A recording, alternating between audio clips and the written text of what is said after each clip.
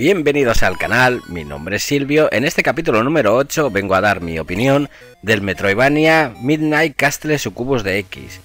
Déjame recordarte que lo que verás y oirás en este vídeo contiene spoilers del videojuego, así que avisado quedas.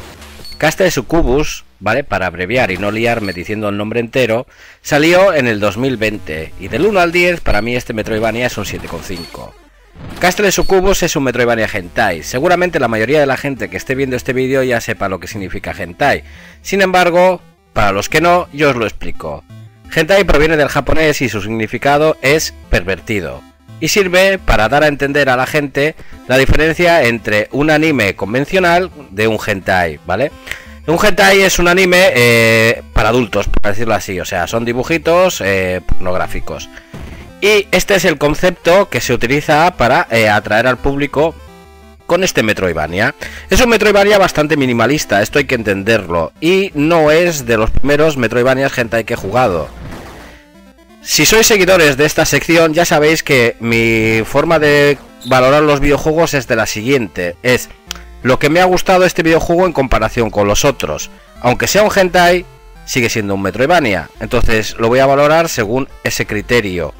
Obviamente estamos ante un Castlevania, o bueno, mejor dicho, un Metroidvania con estética de Castlevania de 8 bits, el cual evidentemente no lo puedes poner a la misma altura gráficamente con un Ori, y eso hay que tenerlo en cuenta y yo lo tengo en cuenta.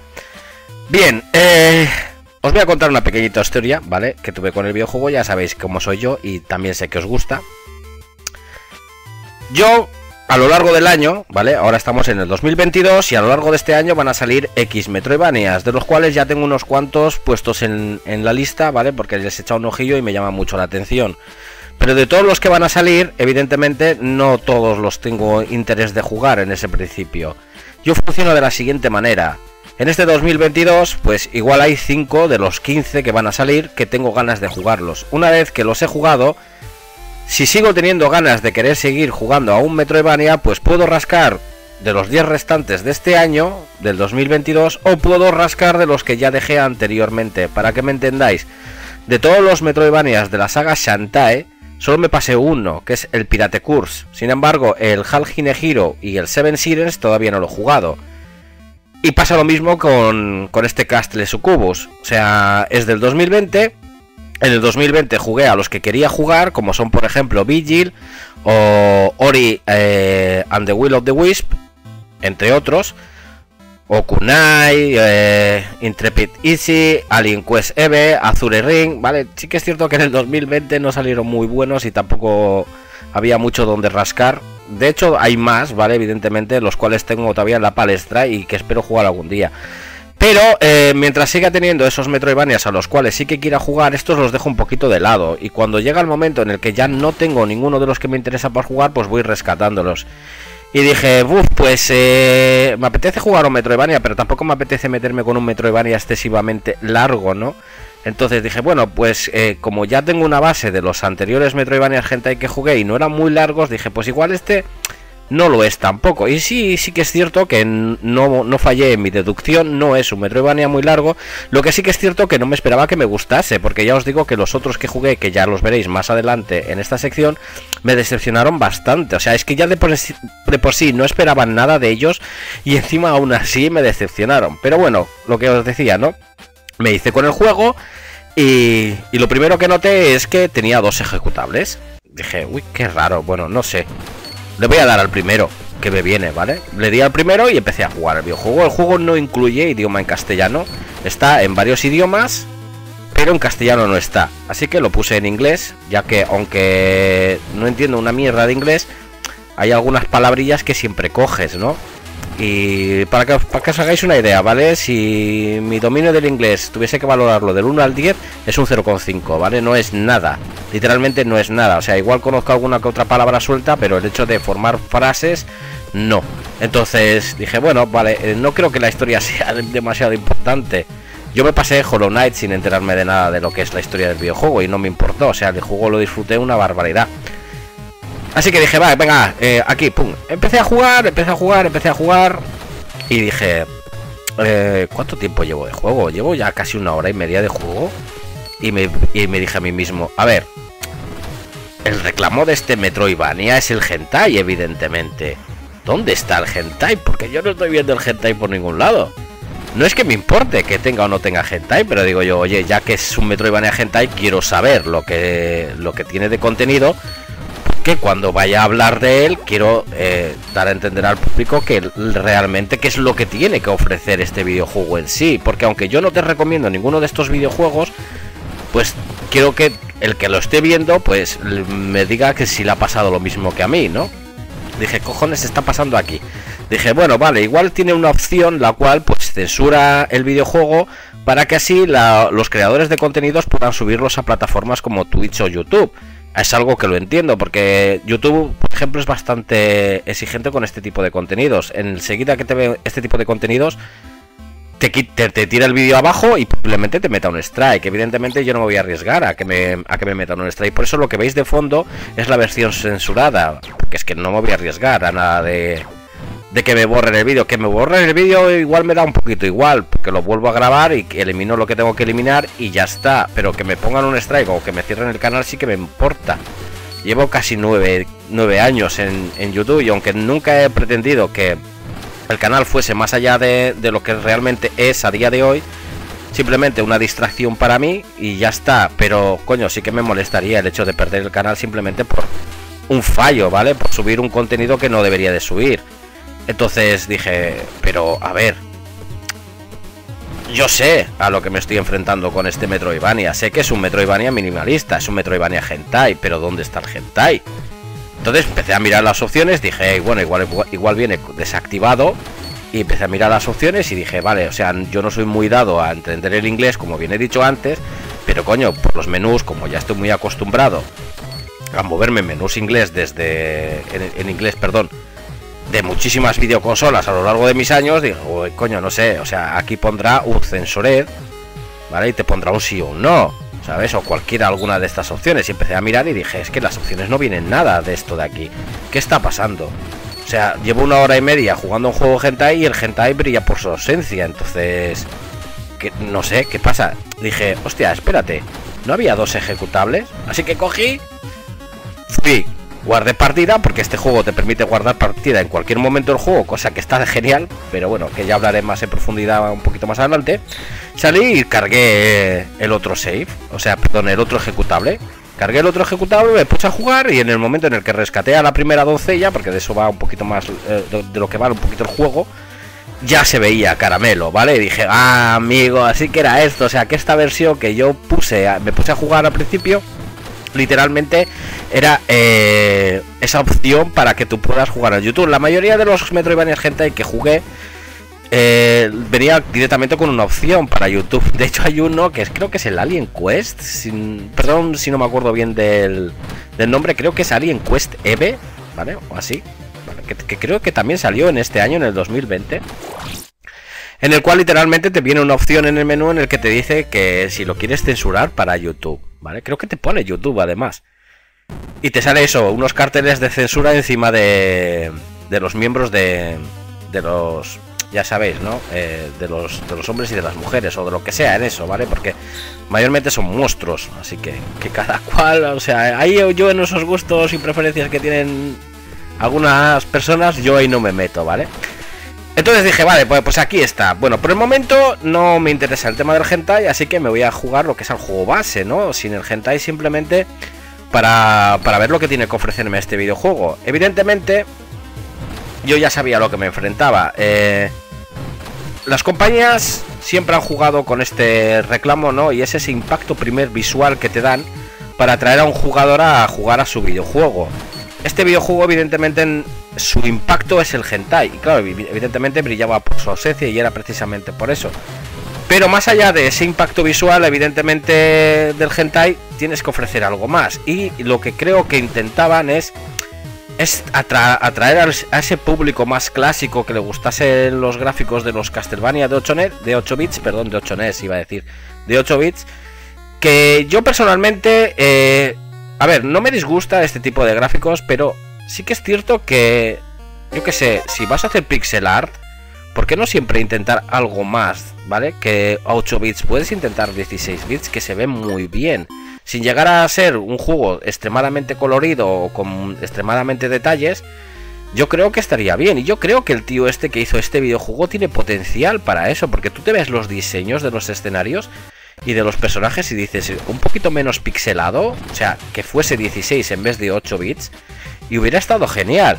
Sin embargo, como bien he dicho, o sea, no me molesta, pero sí que es cierto que, y estaría mintiendo si dijese que no, que lo rechacé a, principio eh, precisamente por sus gráficos. A ver, yo ya jugué a muchos juegos en 8 bits en su época y, y aunque no me molestan, evidentemente si me sale un videojuego como, como los que he mencionado, ¿vale? El de Vigil o, el Ori, en los que literalmente son una precisidad visualmente, pues evidentemente a este lo voy a dejar un poquito de lado. Y mucho más cuando me recuerda mucho a, los Castlevania de NES. Y dije, pues nada, pues habrá que ponerse a jugar al juego. Entonces me puse, eh, o sea, volví a, cerrar el ejecutable, ya sabía que esa era la versión hentai y me puse a jugar a la otra que ya tenía una partida empezada. A ver, como bien he dicho, gráficamente es un videojuego con estética 8 bits. recuerda muchísimo a los Castlevanias de NES. Pero yo me preguntaba, eh, aparte de tener la estética, ¿también tiene la misma jugabilidad de los juegos de NES de 8 bits?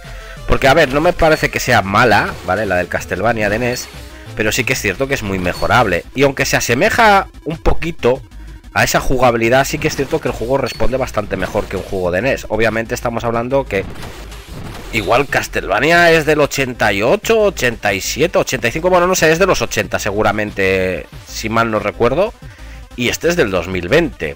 Por muy minimalista que sea, por muy independiente que sea, por mucho que lo haya hecho una persona, Estamos en el 2020. Eh, siempre tienes que exigir un poquito más.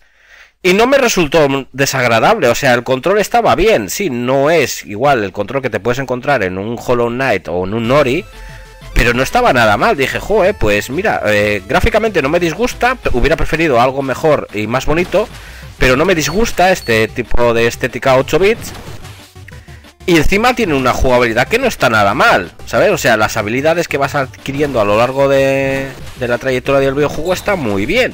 El poder disparar con tu látigo en diagonal, poder disparar con tu látigo hacia abajo, el típico doble salto, ¿vale? Eh, poder correr, está bastante bien. Sigue manteniendo la estética de las subweapons de, de la saga Castlevania, ¿vale? O sea, tú rompes los candelabros y te dan dinero y te dan las sub, sub armas.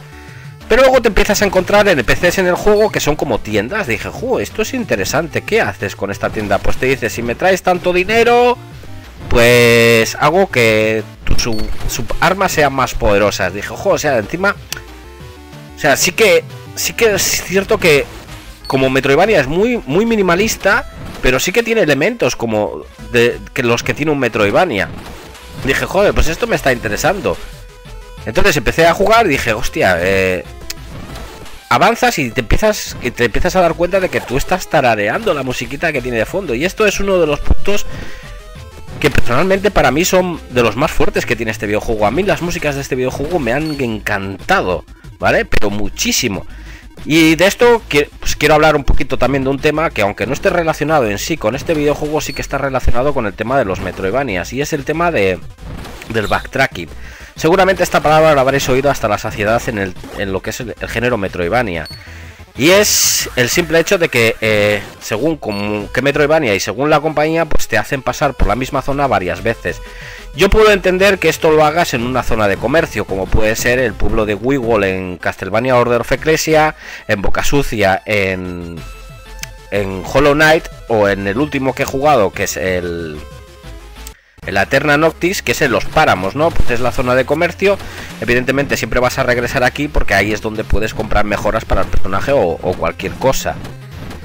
Pero sí que es cierto que haya mucha gente que el tema del backtracking le echa mucho para atrás y por eso no se mete muchísimo con este género de videojuegos. Por, eso, no solamente es por la exploración, sino es por el hecho de que tienes que pasar por la misma zona varias veces.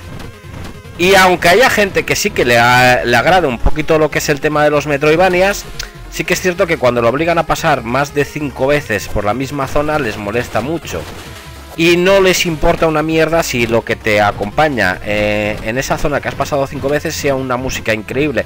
que sí que les gusta la música que están escuchando, pero más allá de lo que les gusta la música que están escuchando, mm, mm, les molesta el tener que pasar por ahí. A mí yo funciono de una manera diferente. Si, por ejemplo, tengo que pasar cinco veces por esa misma zona, pero la música no me gusta, sí que me resulta pesado. Sin embargo, si la música me gusta mucho, no me importa pasar 5, 10, 15, 20 o 30 veces por esa zona, porque me flipa la música.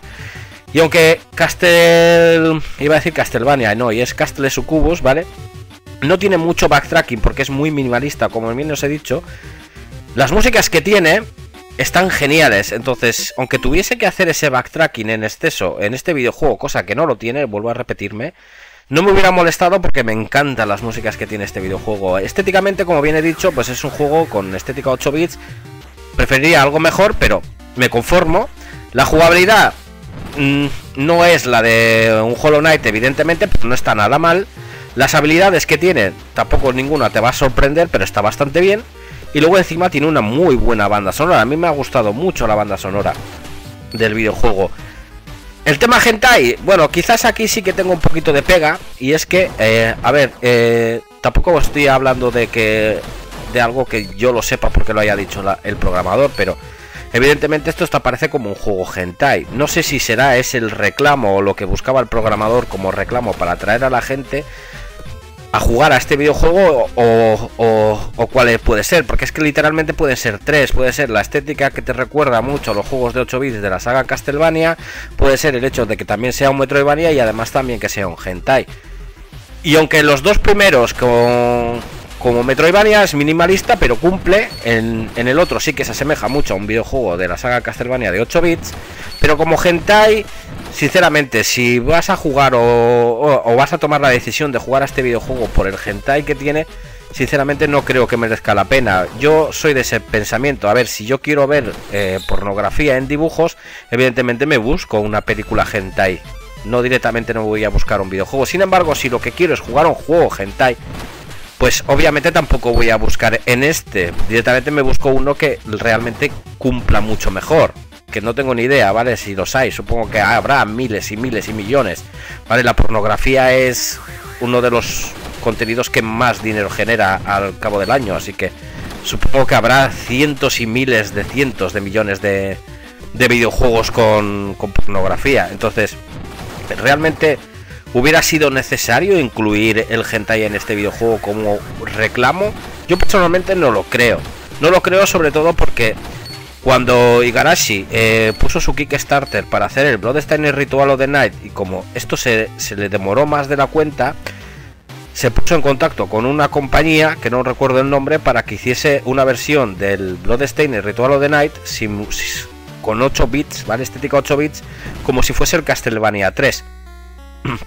Y lo hizo para la gente que apoyó el Kickstarter. De hecho, solamente la gente que apoyó el Kickstarter tenía acceso a ese videojuego. Pero como el juego gustó tanto, ¿vale? Pero tanto, tanto, tanto, le dijeron a Igarashi que coño, que lo sacase en Steam, que la gente lo compraría y lo jugaría. Y lo hizo. Y a la gente le gustó. Entonces, este videojuego, con el simple vistazo que le puedes echar, ya directamente te das cuenta de que sí, tiene esa estética.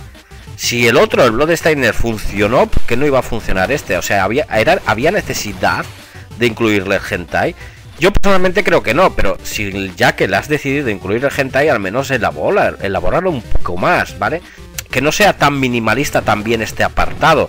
O sea, yo me pasé el juego base y luego, claro, para hacer este vídeo dije, no, pues, mm, a ver, tengo que ver también si realmente el hentai que tiene me gusta o no me gusta si, si está bien o no está bien, porque no, no simplemente voy a hablar de una parte del videojuego omitiendo completamente la otra. Así que es cierto que a lo largo de estos vídeos hay cosas que omito para que no quede excesivamente largo eh, lo que quiero decir del videojuego, pero yo creo que esto es una parte importante. Al fin de cuentas es uno de los tres reclamos que, yo pienso que el programador me incluyó para atraer al público. Un juego estética 8 bits muy parecido a Castlevania, un Metroidvania y también un hentai. A mí personalmente el tema del hentai me pareció bastante me, ¿vale? O sea, no está mal, pero podía habérselo elaborado un poquito más. Es que tampoco hay mucha cantidad. Eh, sí que el juego, el juego no es, no es muy largo. No recuerdo bien si me llevó unas 5 o 6 horas. Es que se me cruzan un montón los horarios que me llevaron las horas que me llevaron completar los diferentes Metroidvanias. Por ejemplo, en la Eterna Noctix me, creo que me llevó 60 y pico horas con el 86%. Y ahora que han sacado la nueva versión, la versión uh, Eterna, que es más sencilla, que también voy a hacerle un vídeo, ¿vale? Porque ya lo comenté en el vídeo número 6 de Eterna Noctis, que cuando jugase a esta nueva versión, si veo que los cambios o tuviese algo que añadir, eh, que no pude añadir en, en ese vídeo, con respecto a esta nueva versión, pues que le, le voy a dedicar un vídeo. Me, dije que me lo iba a pensar, ya me lo he finalizado y sí que creo que le voy a hacer un vídeo porque creo que merece la pena. Entonces, es a lo que voy. Eh, ¿Qué estaba diciendo? Ya no me acuerdo. O sea, estaba hablando de, de lo de Aterna Noctis, pero algo estaba diciendo del Sucubus, pero se me ha ido completamente de la cabeza.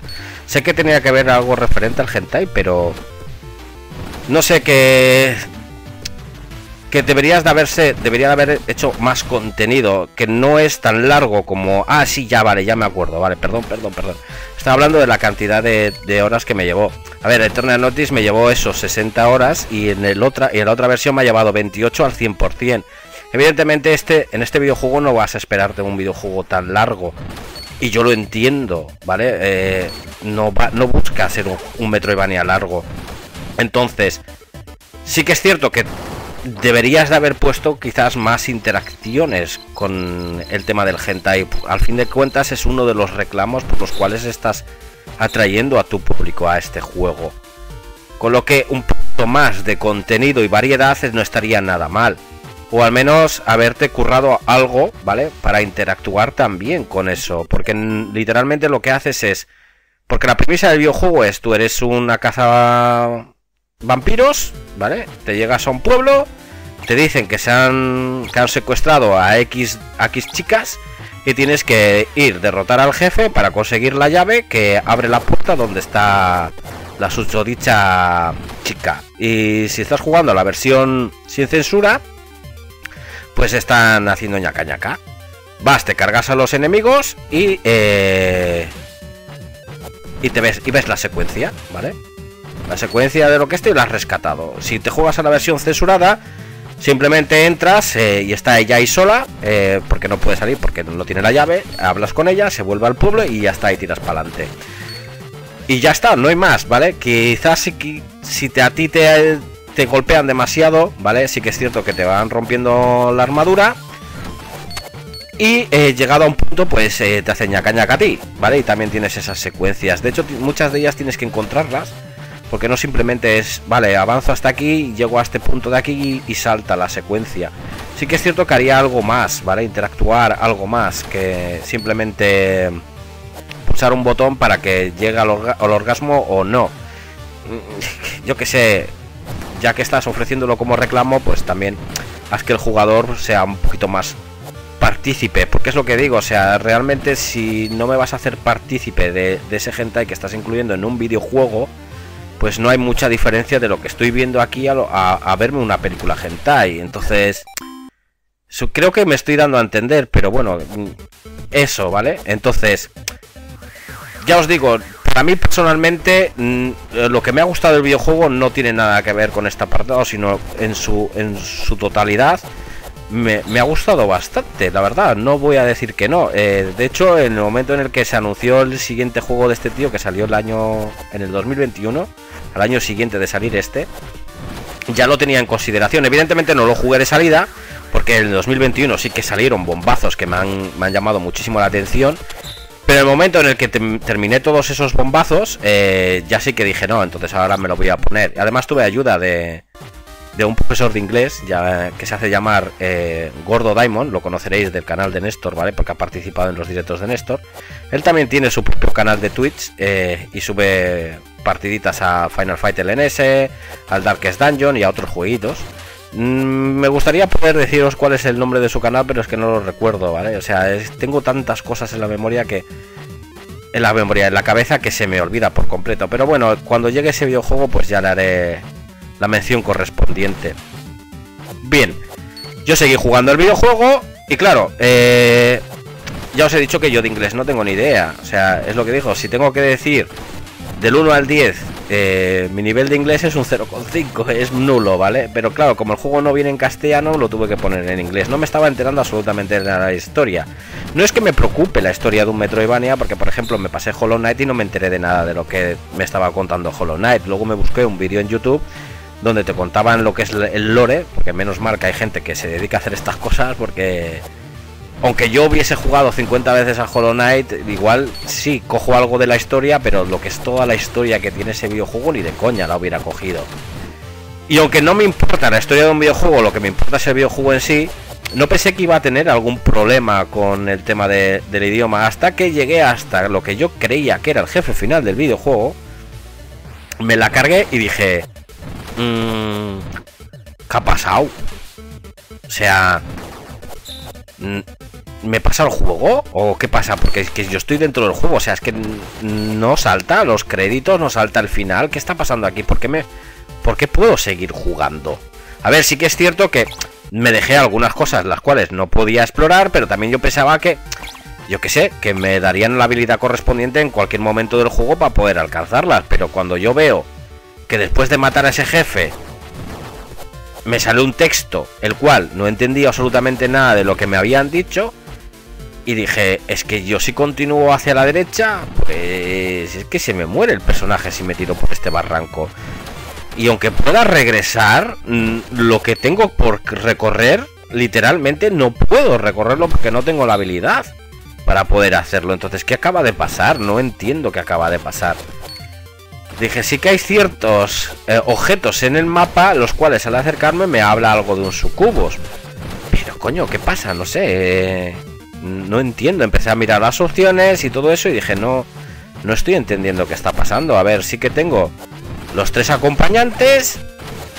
Tengo eh, todos los látigos, porque vas consiguiendo diferentes látigos.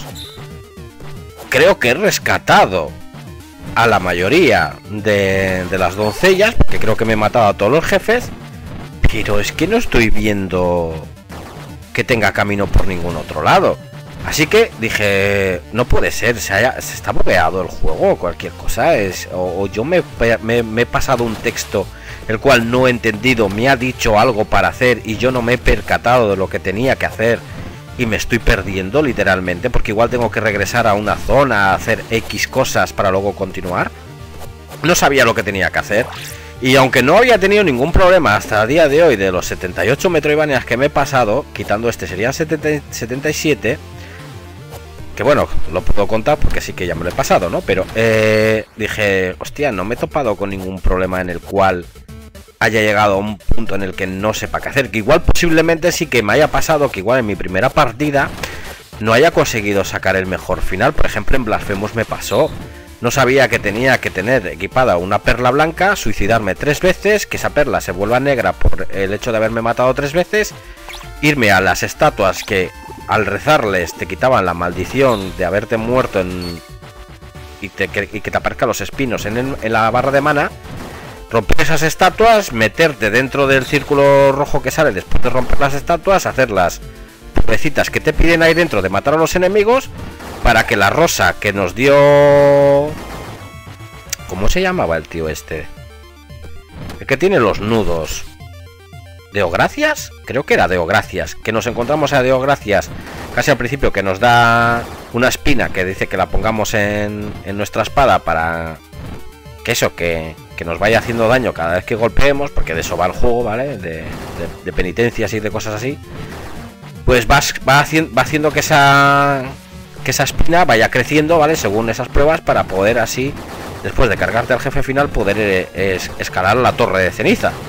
Si no lo haces, directamente te hundes en la torre de cenizas y sacas el final malo. Eh, eso me pasó la primera vez que jugué a Blasphemous. Luego ya sí que me lo descubrí, ¿vale? Y ya sí que saqué el final bueno.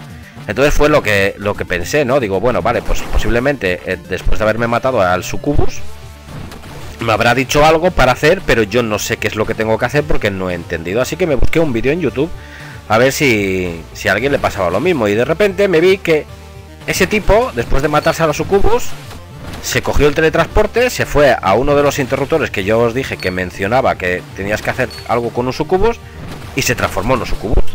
Y le golpeó a esa bola y le llevó a otra zona. Dije, oh, ¿qué, qué? Digo, ¿eso cuándo te lo han dado? Porque yo lo que estoy viendo de la partida de este chico es que ha hecho exactamente todo lo que yo he hecho, sin excepción, ha recogido todo lo que yo he recogido, se ha dejado todo lo que yo he dejado porque no se puede coger, se ha cargado al jefe final, que es el sucubo, que yo pensaba que era el jefe final, se ha teletransportado, cosa que yo también he hecho, y de repente se ha llegado aquí, ha hablado con esta esfera, se ha transformado en la sucubus y ha podido acceder a otro sitio. Digo, voy a ir a hablar yo con esa esfera, quité el vídeo, cargué mi partida y me fui allí. Yo me fui a hablar con la estatua, la estatua me hablaba, pero a mí no me cambiaba el sucubus y no podía hacer absolutamente nada. Hasta que, sin querer, ¿vale? Le di abajo y a un botón, ¿vale? Le di abajo un botón y me cambió al sucubus. Dije, me cago en la madre de Dios. O sea, por favor, ¿qué está pasando aquí? O sea, con todos los botones que tienen a día de hoy los mandos de las videoconsolas, que este juego no utiliza todos esos botones, que tengas que hacer abajo más un botón que ya se utiliza para otra habilidad, digo, no tiene sentido. O sea, por ejemplo, los dos gatillos de los mandos de Xbox One no se utilizan en este juego para nada. Sí que se utiliza eh, los dos botones superiores y los cuatro de la derecha del mando, ¿vale? Que serían seis en total, pero no se utilizan los ocho. Digo, entonces, que no has puesto la transformación de, del personaje en su cubo a uno de estos gatillos? ¿Por qué me obligas a darle abajo? Creo que es el I. Espérate que cojo el mando de Xbox. Sí, abajo I. Creo que es abajo I, ¿vale? Le das abajo el I y se transforma en la sucubus. Y el I creo que te sirve para... ¿Para qué servía I? Para... No sé, no recuerdo, ¿vale? Eh, perdonad que no me acuerde de todo. Esto lo jugué en el 2020 y lo grabé en el 2020 el vídeo y le estoy poniendo ahora eh, la voz al vídeo de lo que recuerdo del videojuego, porque, a ver, sí que me acuerdo de muchísimas cosas del videojuego, pero igual esos detallitos en sí no del todo. No recuerdo qué hacía Lee, pero bueno, tampoco es importante para dar mi opinión del videojuego en este vídeo, pero lo que quiero decir es que si en vez de hacerme darle abajo más y me hubiese permitido darle un gatillo, ¿vale? Yo le doy al gatillo, me transformo en la sucubus y ya está. Porque igual, eh, cuando me maté a la sucubus, me dijo eh, press down más X button, por ejemplo, eh, para transformarte en la sucubus. Yo igual no me percaté porque es que tampoco lo está. Yo es que no me leía los diálogos, porque es con que mucho que me intentase leer los diálogos no lo estoy entendiendo. Yo te puedo entender igual alguna palabrita suelta, pero en sí un texto entero no sé traducirlo. Entonces, como no sé traducirlo, pues no lo estoy entendiendo. Entonces, igual ahí sí que me dijo que ya me podía transformar en su cubos, pero en vez de utilizar lo típico que suelen utilizar las otras compañías, que es te sale el dibujo de la cruceta, señalado el mando hacia abajo y luego te pone eh, un más y el botón correspondiente que tienes que pulsar, ¿no? Pues en este caso sería el I del mando de, Xbox One. Si fuese igual en un mando de Play, pues sería el triángulo. Pero ya te lo pone en ese dibujo. Sin embargo, aquí te lo decía todo en texto. Entonces, como yo no leía los textos, simplemente pasaba el texto para adelante porque ya os digo que desde que, que empecé el juego hasta que me llegué a ese jefe, no he tenido ningún problema por el hecho de no leerme ningún texto. Claro, cuando ya descubrí que, que se hacía abajo más y se transformaba, pues simplemente le solté un proyectil a esta bola y me teletransportó a otra zona. Y dije, joder, claro, es que veo que sigo jugando al juego, cosa que me gustó, ¿vale? No me gustó nada el hecho de que no. de, cómo te tienes que transformar en el juego. Sí que hubiera preferido que hubiese sido un botón. muy minimalista que sea el videojuego, muy cutrilla que sea la interfaz en la que te mueves por muy cutre que sea eh, el, mapa que te ofrecen, ¿vale? Eh, coño, al menos ese tipo de cosas por las más orientativas para el jugador. O sea, si te sobran botones, como es en el caso de los gatillos de un mando de Xbox One, pues ¿por qué me obligas a darle abajo más sí? ¿Vale? Dale a un botón y ya está. Así que nada. Aparte de eso, cuando ya descubrí que se que se transformaba así, no que descubrí que se podía transformar, porque evidentemente ya me lo spoileó el vídeo que me vi. Pero eh, en el momento en el que ya supe cómo transformarle, transformarla en su cubos, eh, coño, seguí avanzando y dije, joder, pues si es que encima también estoy consiguiendo habilidades para este personaje que son diferentes al otro, o sea que tenía los dos personajes, podía cambiarlos en cualquier momento. De hecho, me parece una tontería, en un momento en el que tienes la sucubus es tontería cambiar a la otra, porque es que La Sucubus es mucho mejor, ya que no tiene limitación de rango. La otra lleva un látigo, ¿vale? Que es bastante dañino, pero te exige estar a un rango de los enemigos para hacerles daño. En cambio, la otra lanza proyectiles. Lanza proyectiles y creo que puede volar. Entonces dije, joder, pues ya con esto ya cambia la cosa. Entonces me fui a explorar todo lo que lo que tenía que explorar, que no es mucho, como bien digo, es bastante minimalista en este aspecto. Y me acabé pasando el juego al 100% y dije, joder, pues sí que me ha dejado con buen sabor de boca. Y es eso, o sea, es minimalista como Metroidvania, pero cumple. Al menos a mí, bajo mi punto de vista y mis gustos, me lleva una sorpresa, porque yo os digo que me he jugado unos cuantos Metroidvanias Gentais que ya los traeré en este canal y han sido bastante decepcionantes. Sí que es cierto que no esperaba nada de ellos y encima de que no esperas nada de un videojuego que encima te decepcione, pues dices, hostia, pues hay que hay que hacérselo mirar, ¿sabes? Y en cambio este sí que no me lo esperaba. O sea, sí que me esperaba que fuese mediocre, pero no, no, no fue eso lo que me encontré. O sea, los gráficos ya os digo que no me disgustan, prefiero otra cosa, pero no me disgustan. La jugabilidad eh, cumple muy bien. Y la banda sonora que acompaña está genial. Las habilidades permanentes que tienes están de puta madre también. Eh, el hecho de cambiarte, sí que lo hubiese preferido a un botón, pero al menos eh, amplía un poquito lo que es más el videojuego. Lo que obtengo por explorar este videojuego, todo es útil y necesario, aunque mayormente son bolsas de dinero. Lo que nos vamos a encontrar, coleccionables, habilidades y em, aumentos de salud que son útiles. Al fin de cuentas, el dinero te sirve para mejorar eh, ciertos componentes del personaje. Luego también aparte tenemos em, unos eh, acompañantes, los cuales, de hecho lo veréis en el, en el vídeo que tenéis de fondo, que creo que solo se llegará a ver uno en el vídeo, en realidad son tres, eh, solo podemos tener uno a la vez. Yo prácticamente casi siempre llevaba a, la curandera, y es que si te quedas agachado un buen rato, esta acaba soltando unas esferas curativas, las cuales las tienes que recoger y te va curando un tanto de vida. La guerrera quizás es la, más efectiva porque en cuanto ve un enemigo salta hacia él y empieza a cortar en, varias direcciones y haciendo muchísimo daño. Y al principio la que te dan es la, la ladrona, que creo que aumenta el porcentaje de, que caiga más dinero de los enemigos al matarlos. Y aparte eh, ataca con cuchillos. Hay que tener en cuenta este pequeño detalle, ¿vale? Porque hay que entrar en menú para activarlas. Y eh, tienes que también desactivarlas en ciertas zonas, porque eh, hay una zona sobre todo de escalada, en la cual tienes que ir rompiendo unos bloques de piedra que se van eh, regenerando con el tiempo. Entonces tú tienes que romperlos, esperar a que se regeneren para poder ir subiendo y subiendo. ¿Qué es lo que pasa? Que funcionan exactamente igual como por ejemplo los familiares del Castlevania Sinfonía de Night. Van a su libre albedrío. Sí que es cierto que en este podemos provocar que ataque cuando nosotros queramos, eh, pero eh, mayormente muchas veces no vamos a poder controlar eso.